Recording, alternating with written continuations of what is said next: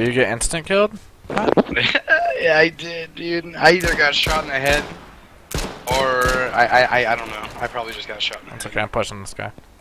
We'll see what the fuck happens.